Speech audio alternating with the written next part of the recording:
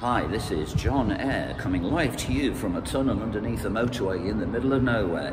I'm five foot nine, I have size nine feet. I live 50 miles north of Cardiff in Brecon. I'm in a village outside called uh. I speak a little Welsh, a little Swedish. I used to be a nurse, midwife, infants teacher, but for many years now I've been a guitar teacher or studio musician, which is just shorthand for being broke.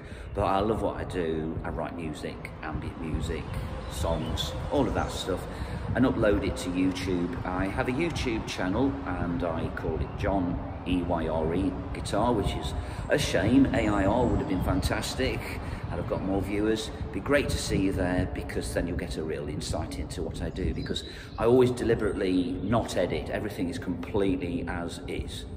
Hope to see you there and thanks for listening to this and I hope you enjoy the bird song.